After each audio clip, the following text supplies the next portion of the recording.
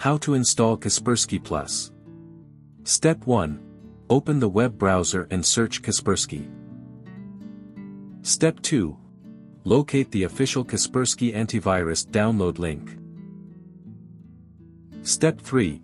Click Downloads now and wait for the installation file to be downloaded. Step 4.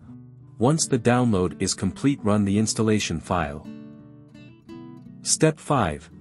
In the welcome window click Continue. Step 6. Go through the license agreement check the checkboxes and click Accept to agree to the terms and conditions. Step 7. Read through the Kaspersky Security Network statement and choose if you wish to participate or decline. Step 8. Read the statement regarding data processing for marketing purposes and choose Accept or Decline. Step 9. Click Install and the Everything is ready for installation screen.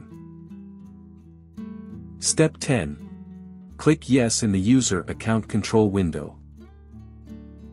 Step 11. If you see any incompatible programs select items for automatic removal or manually delete them. Step 12. Now wait for the installation to complete. Step 13. Review the recommended settings and click Apply.